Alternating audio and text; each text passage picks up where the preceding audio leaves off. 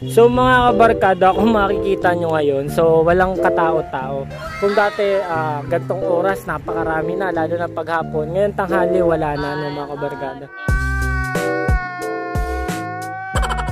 So makikita nyo mga kabarkada, so dyan dati may nadaan dito sa ilog na ay ang modified nila na lawa. So may nag-jet ski dyan, then madami ang mga couples yung naggagala so naglalakad ngayon. Uh, bali ngayon hindi tayo makadiretso kasi pinagbawalan muna tayo kasi sobrang malikabok so makikita nyo mga kabarkada ayan no so hindi pa sila hindi pa nalilinis masyado tong Nubali. So inoonti-onti pa nila yung pagbabalik nung kagandahan nitong park. Kasi syempre alam niyo naman sa mga kabataan ngayon no? So wala silang matatambayan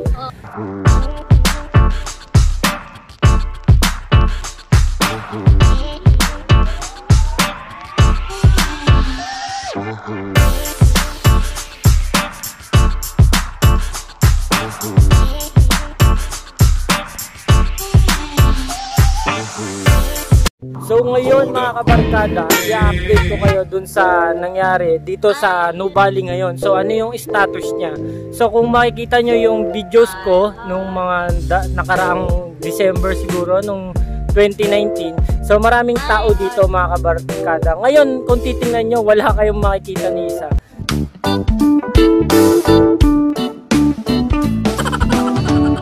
So itong uh, Nubali na malap, uh, part ng Santa Rosa eh apektado talaga nung pagsabog ng taal. So yung ashfall. So makikita nyo mamaya mga kabarkada na yung makikita nyo naman sa gilid no, sobrang alikabok pa. Pero nakausap ko mga kabarkada yung mga gwardiya dito. So sabi nila uh, baka bukas o sa susunod na araw bumalik yung operation nila kasi doon pa lang sa may dulo So, doon pa lang sila nag-start mga kabarkada na maglinis. No? So, unti-unti nila to, bali, babalik nila yung ganda ng Nubali mga kabarkada. Kasi ngayon, talagang napapalibutan tayo ng ashfall mga kabarkada. So ngayon, uh, kung bago ka sa aking uh, YouTube channel, so huwag mo kalimutang i-subscribe at i-click mo ang notification bell para notify ka sa mga videos ko mga kabarkada. So ngayon, nililibot ko na kayo sa nangyari dito. Uh, ano yung update natin ngayon dito mga kabarkada. So ngayon, medyo mahangin tayo ngayon. So malamig. Then, ah, gagala ko na kayo mga kabarkada at manood lang kayo at mag-enjoy mga kabarkada. So mga kabarkada, kung makikita nyo ngayon, so walang katao-tao. Kung dati uh, gantong oras, napakarami na, lalo na paghapon. Ngayon tanghali, wala na no, mga kabarkada. So makikita nyo mga kabarkada, so dyan dati may nadaan dito sa ilog na ay ang modified nila na lawa. So may nag-jet ski dyan, then madami ang mga couples yung naggagala. So naglalakad ngayon. Uh, bali ngayon hindi tayo makadiretso kasi pinagbawalan muna tayo kasi sobrang malikabok pero mimik ha? Hirap na ako eh ha?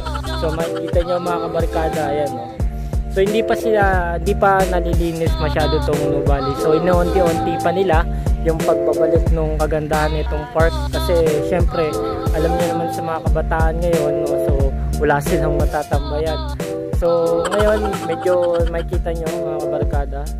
So, hindi na ganun ka-green. So, makikita nyo na may mga patay ng halaman. So, ayan, hindi na nilinis dati kasi uh, linis na linis siya. So, ngayon, hindi na mga kabarkada. So, ililibot ko kayo ngayon. So, medyo ma-ashfall pa. So, wala pa yung mga naglilinis. Nakita ko nandun pa sa, sa kabilang kalsada. So ito yung nangyari ngayon. So alikabok pa rin. So mas okay pa rin na pag pumunta kayo, wag muna kayong pumunta ngayon dito kasi medyo mano yung medyo matagal-tagal pa to bago malinisan. Lalo na yung mga damo, madaming namatay na damo na naging attraction nila dito sa Nubali na park na to. Then may kita nyo talaga yung grabe yung naging ano ng taal, yung pagsabog ng taal mga kabarkada. So ayan, lalakad ko kayo. So mga barkada hindi ko na ako diretso doon so ikot ko na lang kayo dito sa kabilang side. So ayan medyo maalikabok pa rin. So yung tubig niya parang green na. Hindi naman dating ganyan yung kulay niya. So ngayon parang dumumi na. So ang tahimik dito parang ano tawag dito parang desierto mga barkada so ayan mga barkada yung bridge So kung makikita nyo, dami pa rin naka-face mask, so mga manggagawa. So sayang hindi tayo makapunta doon kasi nausap na tayo ni Kuya na huwag mo nang tumuloy kasi yun nga, mga likabok. So pag humangin, lahat ng dito. So yun, sasabog sa atin na ako hindi pa naman naka-face mask ngayon. So eh, medyo malungkot pa dito. So kung pupunta kayo sa Nubali, mga kabarkada, eh wag muna ngayon. Siguro mga February mababalik na sa dati to so makikita nyo naman yung mga hamog ma ay mga hamog mga kabarkan alikabok so naka face mask pa si kuya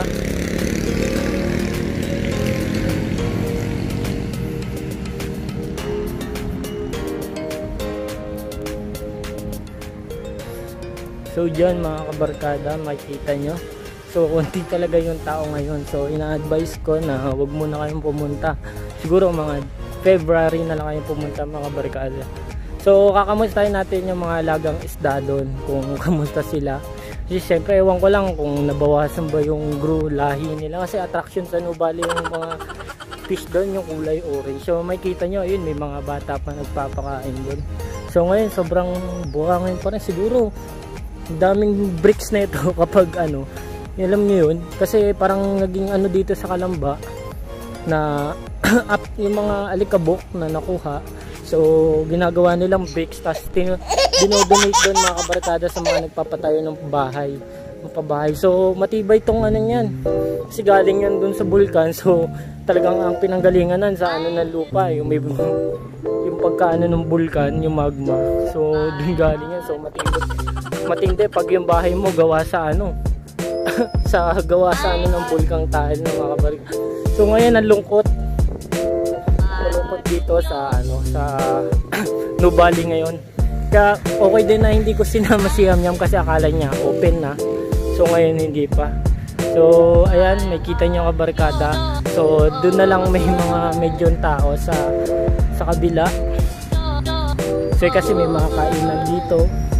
Din dito yung Solenad So yung mall medyo naapektuhan talaga. So ang laki nag naging epekto sa kanila ng ashfall yung pagsabog ng taal kasi lalo na ano eh, kumbaga kung pupunta ka dito, nature ka, yung kakabarkada, mahilig ka sa nature, then park. So yung mga dahon talagang nalanta, ayun, nakikita nyo pa. Ayun. So ewan ko baka diligan nila to mga kabarkada. Talagang di pa advisable na pumunta kayo dito. Pero nagsabi na nga yung ano na naglilinis na at saka yung gwardiya na baka bukas continue na na yung operation unti-unti nila to.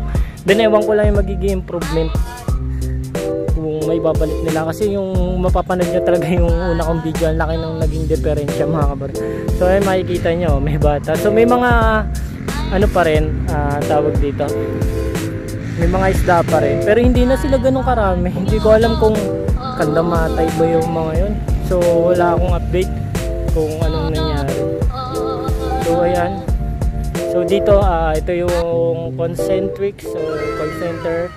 Then dito na lang matao. So kung pupunta kayo dito kainan na lang yung dadayuhin nyo. Pero yung maglalakad kayo dun sa park so mukhang malabo mga kabarkada.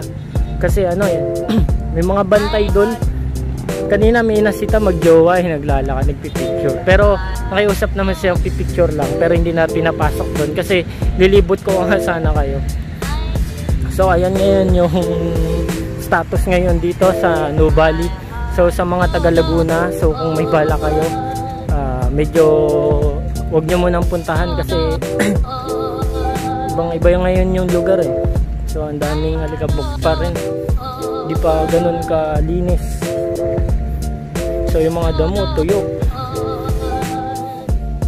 So ayun mga kabarkado. So yung Nubali. So kahit yung Nubali sign mga barkada eh di pa linis. So ganyan siya katahimik ngayon. Partida yan mga kabarkada. Weekends ako pumunta. So hindi pa siya ganun kalinis.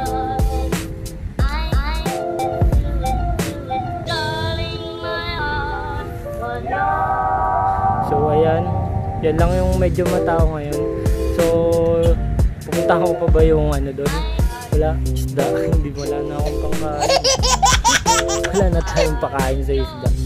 So, ayan ngayon yung status ngayon mga kabarkada. So, medyo ah, malungkot pa.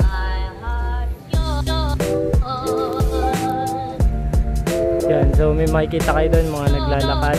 Konti lang siguro yung mga nagtatrabaho na dito pero yung mga dadayuin pa, nako. Huwag nyo munang puntahan. So dito lang ako kayo ina-advise kung pupunta kayo dito mga barkada. So may kayo nandito, romantic baboy, then shakies, then uh, parang pizza, Crisostomo, Italian, yan, dyan mga kabarkada. Ito lang yung pupuntahan nyo talaga. Pero kung gusto nyo talaga uh, pumunta doon sa park doon, lalakad kayo doon. So, mga siguro uh, February. So, may ano pa tayo, January pa lang ngayon. Mga mid, mid ng January. So, may ano pa sila, almost 2 weeks or 3 bago mag Feb 14 uh, mabalik na siguro sa dati to so makikita nyo rin yung mga halaman mga, mga puno na ayan so nalanta so dami pang mga lantang dahon nalilinisin siguro kung may part time dito na tagalinis kakabarkada 500 per day o kaya ano chat kayo chat ko kayo mag comment kayo. Baka kumuha sila ng tagalinis dito. Kasi kailangan talagang ano to eh malaki kailangan talaga nilang buhayin ulit to mga kabarga lalo't pag Feb 14 madaming ano dito uh, mga dinidisplay sila yung attraction. So ngayon kung aabutin ng Feb 14 tas ganito yung magiging attraction mga kabarkada napakalungkot. Siguro mas better na yung pumunta na lang dito eh yung mga sawi. Yung mga sawi na lang. So ayan mga kabarkada. So nakita ko mga kabarkada doon yung mga isda. Ewan ko anong tawag doon? Ang tawag doon dati nakalimutan ko na. So yun nga medyo parang umunti sila. Hindi ko alam kung in-evacuate din eh. Tapos nilagay sa ano batya. Hindi ko alam so ngayon uh, advisable ko lang sa mga gusto kung pupunta kayo dito sa Nubali uh, Santa Rosa. So wag muna. Kasi napakalikabok. So ayan no makikita nyo. Ganyan pa sila mga kabarkada. So ngayon uh, babalik na ako then bibiyahe na ulit ako pabalik kasi in-update ko lang kayo kung kung ano yung status ngayon eh. So ayan yung nangyayari ngayon. Yan. So pero asahan nyo i-update ko kayo kung bumalik na ulit na open na yung part na to para sa mga gagala. So ayan. Hanggang lang kayo. So tatambay what's up mga kabarkada? So kung nag nag-enjoy kayo dun sa napanood nyo ngayong video pero tingin ko hindi kayo mag-enjoy kasi ano eh hindi, na, hindi natin nalibot kasi yun nga maapektado pa nung ashfall nun sa taan so update ko na lang kayo kung uh, open na ulit to mga kabarkada. Kasi ngayon magkakaroon uh, malapit na lalo yung Feb 14 so mas dadayuhin to. Then kung magiging ganto pa rin hanggang Feb 14 mga kabarkada, ewan ko kung saan natatambay yung mga magjojowa. Kasi ano to eh, uh, yung part na to parang maganda siya, tahimik, din kung naghanap kayo ng peaceful, mag-uusap kayo na ganun. So, best din sa mga family at friends. So, punta kayo dito. So, ngayon, di pa advisable. So, siguro Feb mga February ng second week mga kabarikada no? So salamat sa panonood at sana nag-enjoy kayo sa videos ko ngayon mga kabarkada. Ay di pala nag-enjoy. May natutunan. So na-warning ko pala kasi kung pupunta kayo ngayon so mangyayari mga kabarkada sayang pamasahe. Lalot ko hindi kayo kakain dun sa mga establishment na nandito. So balak nyo lang tumambay. So yun na nga. So salamat sa panonood at sana nag uh, enjoy kayo at tayo nyo yung mga susunod na videos ko mga kabarkada. At dyan lang kayo lagi. Subscribe mo kung bago ka at click mo yung notification para notified ka sa mga videos ko mga kabarkada. At maraming salamat at God bless